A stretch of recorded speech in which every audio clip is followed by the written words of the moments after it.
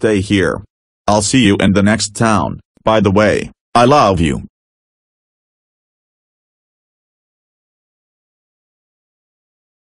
Rosinante, how dare you lie about being mute and stealing the op-op fruit? You'll be grounded for that. But first, tell me where the op-op fruit is. Law already ate it and is with the Marines. That is it. I'm going to kill you now.